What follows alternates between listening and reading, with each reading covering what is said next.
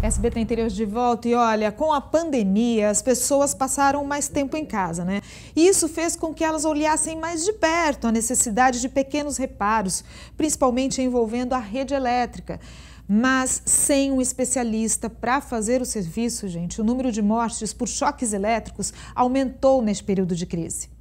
Com as medidas do isolamento social e muitas empresas adotando o teletrabalho, foi possível identificar uma mudança de comportamento.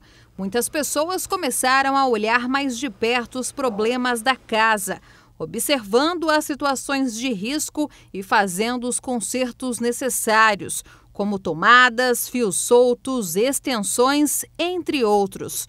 Só que no meio dessas supostas melhorias, teve gente que levou cada choque. Eu já levei choque no chuveiro, eu já levei choque em, em tomada, e eu tô lembrando aqui de uma, um choque bem inusitado.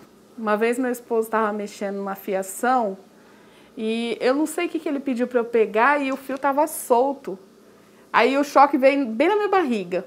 Durante esta pandemia, a família da Elaine ficou em home office o tempo todo.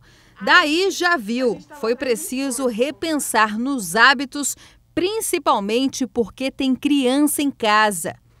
Ele, às vezes, assim, mamãe, pode pôr o celular para carregar? Deixa que eu ponho. Mamãe, deixa eu pegar o celular carregando de jeito maneira.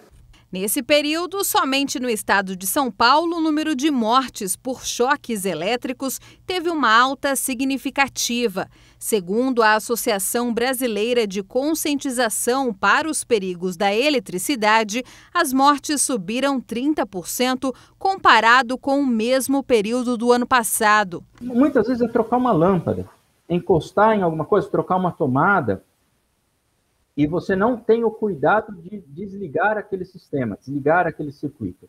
Existem outros problemas, como, por exemplo, é, fios desencapados que eventualmente encostam na carcaça de eletrodomésticos. De acordo com Rodolfo, para interromper o perigo dos choques elétricos, existem alguns equipamentos onde a instalação é dita como essencial. Que existe o fio terra. Qual é o problema?